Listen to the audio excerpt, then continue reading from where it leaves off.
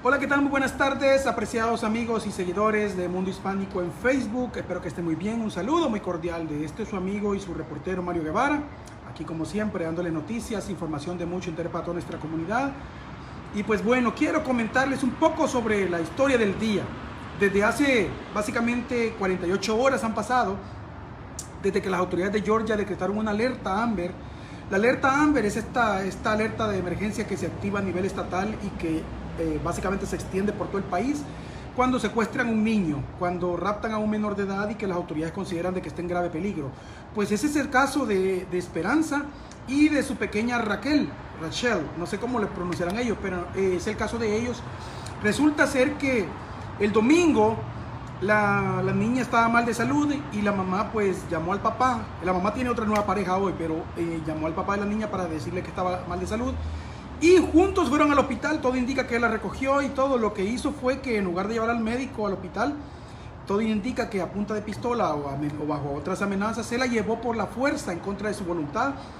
Y la nueva pareja de Esperanza, junto con el hijo mayor de ella, fueron a la policía de Cumming a poner la denuncia y de una vez empezaron a activar la, la alerta Amber, empezaron a buscarlas.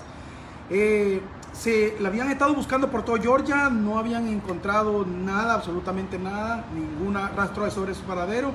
Y el peor temor de, del señor Alejandro era que, que, a Esperanza se la fueran allá a sacar del país y que la, la, fueran a trasladar a Guatemala, donde básicamente pues hubiera sido casi imposible localizarla y mucho menos regresarla. Y justo así fue, la logró sacar del país. Alexis, todo indica que Alexis cruzó la frontera por algún momento en algún lugar no especificado la llevó a México y en Tijuana, en un motel de Tijuana los encontraron. Eh, ahí estaban juntos. Eh, básicamente la mujer todo indica que fue contra de la voluntad de la mujer. Hasta el día de ahora, bueno, en este preciso instante, ella está en la frontera, ya tratando de cruzar de regreso al país con la niña. Y triste realidad es que, bueno, eh, en el caso de Alexis, él ya había estado preso antes por violencia doméstica, entre otros cargos graves. Y también muy importante que a Alexis a él le habían puesto un grillete, él estaba libre bajo fianza y le habían colocado un grillete. Se quitó el grillete, justo antes de llevarse a la, señora y a la niña se quitó el grillete, así es que rompió las condiciones de su libertad condicional, así es que seguramente va a tener que pagar también por eso, ¿verdad? Pero eh, muchas personas me mandaban mensajes diciéndome que ella se había ido con su voluntad, que ella simplemente quería apagar el teléfono porque no quería, no le daba la gana de contestarle al, al, nuevo marido.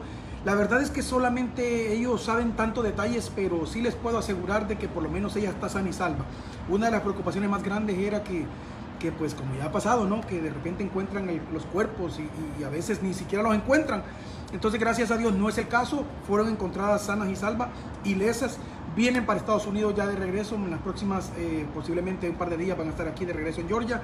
Y pues vamos a tratar de entrevistarlos y ponerlos en, en, viva voz ahí para que toda la comunidad sepa exactamente los momentos de terror que le tocó vivir, porque todo asegura que fue bajo amenaza de Alexis. Alexis ya está preso, eh, parece que la autoridad mexicana lo tiene bajo custodia aún, no sabemos qué va a pasar con él, pero sí Estados Unidos lo está reclamando, obviamente, tiene varias órdenes de captura. Y esa es la alerta Amber, al final tuvo, bueno, tuvo un final feliz, por lo menos para la mayoría de la comunidad que estaba pendiente de este caso. Para Alexis no tuvo un final feliz esto, porque él hubiera querido estar en Guatemala con su mujer. Alexis es residente de Estados Unidos.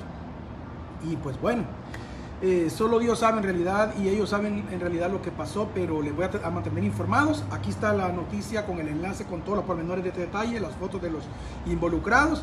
Su amigo, su reportero Mario Guevara, que Dios me lo bendiga, cuídense mucho y compartan este video por favor. Hasta la próxima.